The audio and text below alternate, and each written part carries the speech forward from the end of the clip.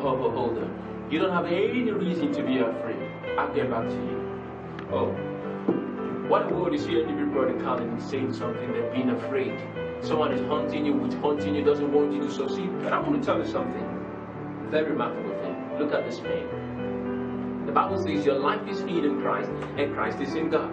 Now, look at the look. Just take a look at this pen. I'm going to take out this now. This is what it means. You are the ink inside the pen. You are the ink inside the pen. And inside this pen is covered by this little casing here, this plastic rubber casing, right? I can't get to the ink, right? Now, this is what happens to you. And then you, this casing here is Jesus covering you.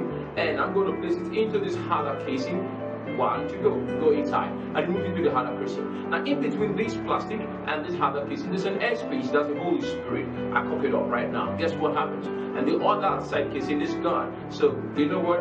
If someone is to get to the ink, the person got to get to the casing, get to the airspace, get to the rubber casing. In other words, someone who wants to hurt me, someone who wants to hurt you, the person got to kill God. Kill the Holy Spirit, kill Jesus before getting you. So tell me, why are you still afraid? Kill all the fear. Don't be afraid of anything. Stand strong because you can and you're always strong. Thank you so much. Share this video, like it. You can click right now on the subscribe button and please drop a comment. Every time we are always there for you. Don't be afraid of anything.